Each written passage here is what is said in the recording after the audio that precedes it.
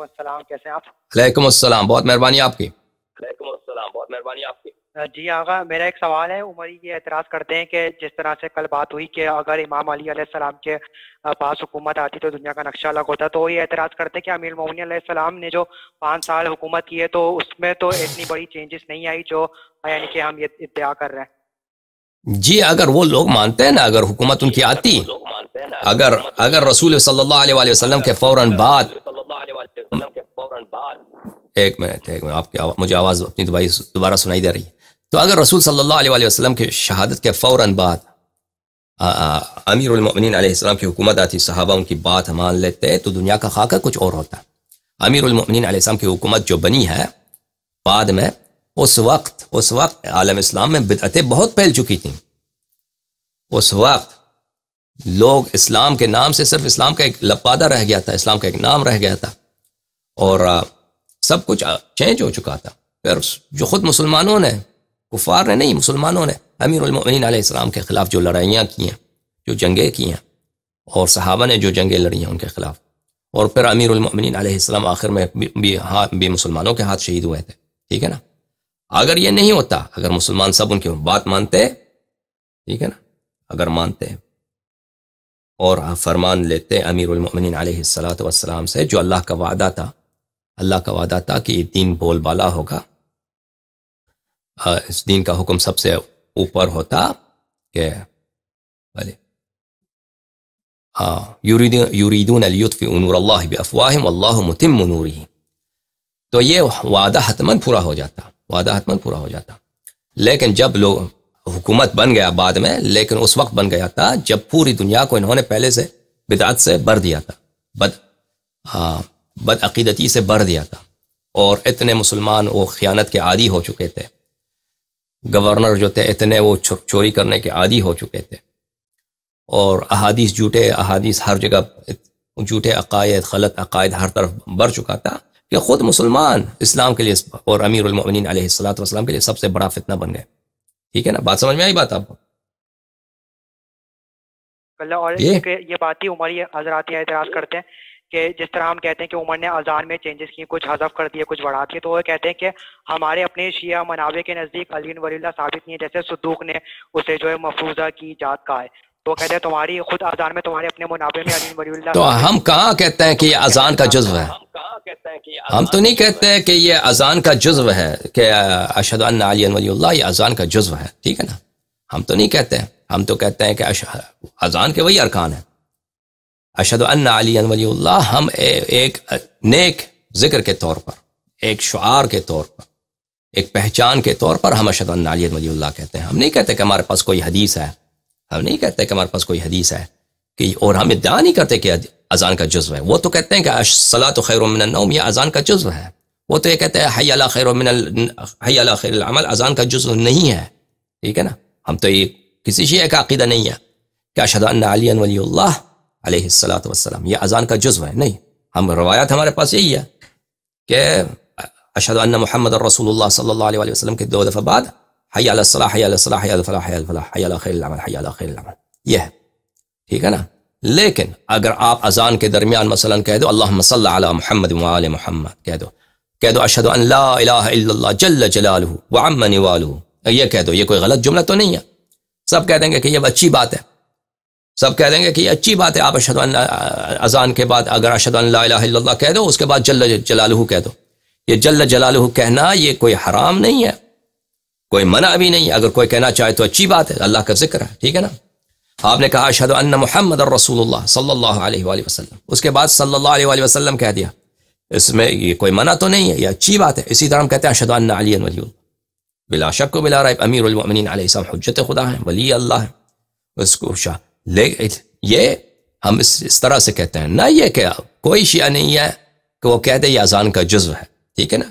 जब तक इमाम आसर आसमाम आएँगे इमाम आसर आसमाम आएँगे तो वो बहुत सारी चीज़ें जो हम तक नहीं पहुँची हैं जो तकिए की वजह से हमें नहीं पहुँची हैं या जो मसलहत नहीं था उस ज़माने में वो बता देंगे। लेकिन अभी जो मौजूदा हमारे पास जो अहादीस हैं उनके रूह से जी हाँ बिल्कुल सही कहते हैं वो और हमारा भी यही अकीदा है। और कि इस तरह का हमारे पास कोई हदीस नहीं है। ठीक है ना भाई? और मजीद? और जैसे ये अयाम अदा चल तो यानी कि इस पर ये एतराज़ करते हैं जो यानी कि खामनाई वाले हैं कि यानी कि सैदुलशहदा की शहादत के बाद दो सदरियाँ क्या? ऐसी गुजरी हैं कि जिसमें इमाम मौजूद थे। मुझे नहीं मालूम क्या कह रहे हैं। दोबारा कह दो। इस तरह की बात इसमें कह रहा हूँ कि यानी कि खामनाई वाले ये एतराज़ करते हैं कि दो सदियाँ गुजरी हैं सैद शहदा की शहादत के बाद। तो उसमें यानी कि किसी इमाम ने जजा की इस तरह से क्यों नहीं किया कि उनका खून भाव जजा की इस कस्म को आज़ादारी में क्यों नहीं किया कि कभी के इमाम जो है वो मनाते हुए उनके क्या कहते हैं कहीं हाँ। निकल आया हो? तो इमाम जुलूस भी नहीं निकालते थे सीना जनी भी नहीं होती थी ना? सीना। जनी भी नहीं करते थे अम ताहरीन अम ताहरीन जहाज़ पे भी नहीं बैठते थे अम ताहरीन कभी हिंदुस्तान भी नहीं गए। ठीक है ना भाई? लेकिन उन्होंने जजा का हुक्म दिया है। अगर तुम यह कह दो कि जो काम आसमाम ने नहीं किया है, वो शरीयत का जुज्व नहीं है। तो बहुत सारी चीज़ें हैं ना।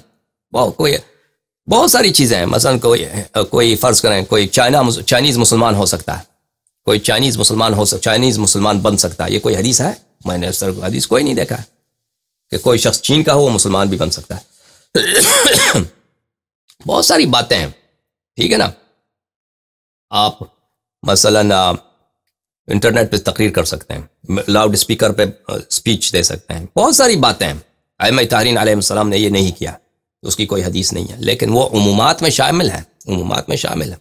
अगर वो ये कहते हैं कि अम ताहरीन सलाम ने जजा नहीं किया तो उनसे ये पूछो कि अम ताहरीन सलाम सीजनी सीज़न सीनजनी कहाँ किया? दस्त आज़ा कहाँ तो पर ये सब कैंसिल होनी चाहिए।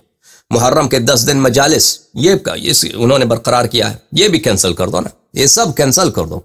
ये सब तातील कर दो। ये कोई कहता है, खामनी वाले क्या कह सकते हैं? उनकी मर्ज़ी मर्ज़ी चले तो वो भी कैंसिल कर देंगे। उनकी मर्ज़ी चले तो वो भी कैंसिल कर देंगे। लेकिन ये सब मशरू है। क्यों? क्योंकि अहम ताहरीन वसलाम ने फरमाया है कि हमारी ज़िक्र करो। अब उनके ज़िक्र करते हैं। मुहर्रम के दस, पहले दस दिन भी करते हैं, उसके बाद भी करते हैं, पूरी साल में करते हैं, लेकिन दस दिन में हम ज़्यादा करते हैं। इसमें कोई आयब नहीं है। ये इसमें कोई मना नहीं है। आयम तहरीन ताहरीन इंसान के गम में सीना मार, सीना जनी करते हैं, ठीक है ना? ये इसकी कोई हदीस तो नहीं है। ये सीना जनी करते हैं, कोई एक शख्स नोहा पढ़ता है, हम सीना सीना जनी करते हैं, ठीक है? इसकी कोई हदीस है, कोई हदीस नहीं। लेकिन ये क्यों करते हैं? इसकी क्यों जवाज है? क्योंकि जजा करना जायज़ है, बल्कि मुस्तहब है, उसका बड़ा सवाब है। बेकरार होना, बेताब होना। कि गम में हम बेताब हैं। सीने को मारते हैं, ज़ोर ज़ोर से। ठीक है ना? खातन मारते हैं, मर्द मारते हैं। तो अगर ये जायज़ है, क्योंकि ये जजा में शामिल होता है, और अम ताहरीन सलाम की कोई हदीस नहीं है कि उन्होंने इस तरह जजा किया हो तो ये भी जजा जायज़ है कि पीठ पे जंजीर मारो, सर पे मट्टी डाल दो, सर पे तप्पड़ मारो ना, या मटका सर पे मारो। जो भी जिस तरह का भी जजा इंसान करना चाहे, वो जायज़ है। ठीक है भाई? जी आगा और बस आखिरी बात थी कि आगा जाफ़र मुर्तज़ा आमली जो मरूम हो गए उनकी आपके बारे में क्या राय है? जाफ़र मुर्तज़ा आमली जो लबनान के ये ये भाई ये लोग अभी बताते हैं आप सुन लीजिए। ये उसने किताब उसकी कोई बात नहीं। या अल्लाह या अल्लाह खुदा खुदा हाफिज। किताब उनकी ठीक है जो किताब उन्होंने लिखा है तारीख इमाम अलैहिस्सलाम है इतना मुफीद नहीं मेहनत किया उसने इतना मुफीद नहीं है बेचारे का। लेकिन उसका यही यही अलमियत था कि वो विलायत फ़की के मुसीबत में मुबतला था। विलायत फ़की उलमा को नहीं मालूम। ये एक बिदअत है और ये कुफर है। उलमा, मैं कहता हूँ, शिया उलमा की मसाइब बहुत ज़्यादा हैं ये लोग। ये बेचारों को खुद भी नहीं पता होता कि फ़िलान अकीदा कुफर है। अम तहरीन आसमाम ने फरमाया कि तुम इस तरह अकीदा रखो तो ये कुफर है। क्योंकि ये हदीस नहीं पढ़ते तामुल नहीं करते तो उनको पता नहीं होता। तो ये मुख्तलिफ़ अनवा के कुफर में मुबतला होते हैं। सिर्फ़ विलायत नहीं है, बहुत सारे बहुत सारे हैं। ये शिया, हमारे उलमा जो गुजरे हैं इस तरह बहुत होते हैं कि मुख्तलिफ़ अनवा के फ़िस्क में कुफर में अकायद फासदा में मुबतला होते हैं इनको खुद पता भी नहीं होता खुद पता भी नहीं होता तो ऐसे लोगों के जो इस तरह लोग होते हैं उनकी नीयत दुश्मनी नहीं होती ठीक है ना बहुत सारे लोग हैं जो जहल की वजह से न जानने की वजह से उनका अकीदा बातिल होता है तो अगरचे उनका अकीदा कुफरिया है गर्च अकीदा कुफरिया है लेकिन इसलिए कि वो आमदन उन्होंने कुफर का अर्तिकाब नहीं किया है वो समझते हैं कि ये सही रास्ता है लेकिन वो सही रास्ता नहीं है तो इसलिए उन वो माजूर हैं वो माजूर हैं। अल्लाह के सामने उनका एक उज़्र है, लेकिन वो सीने में उनका हब अली सलाम है। सीने में उनका हब हैदर है सलाम तो ये बायस निजात है, जो शख्स जानबूझ कर मुखालफत नहीं करता आमदन वो अनजाने में मुखालफत करता है। अनजाने में मर्जियत का कायल है, अनजाने में तकलीक का कायल अनजाने में विलायत फ़की का कायल है, ठीक है ना? अनजाने में समझता है कि इरफान जो है, ये कोई अच्छी बात है। सूफियों के पीछे लगा हुआ है। जब तक वो बिल्कुल उसको पता ना हो कि ये कुफर है। या ऐसा अकीदा रखे कि उसको उज़र के बावजूद वो कुफर है। उज़र के ऐसे अकायद भी होते हैं कि वो उज़र भी हो ना। अब मसलन मैं कह दूँ कि दो अल्लाह दो हैं। तो जहल के बावजूद मैं काफिर बन जाऊँगा उससे मुश्क बन जाऊँगा। और शफात भी मेरी नहीं होगी। लेकिन इस तरह अगर अकीदा ना हो अकीदा ऐसा हो कि बिदात पे यकीन रखता है लेकिन वो जहल की वजह तो ऐसे लोगों के लिए हो सकता है कि अल्लाह की जानब से आ, इनके लिए उज़र है बहरहाल डील है इन लोगों के लिए।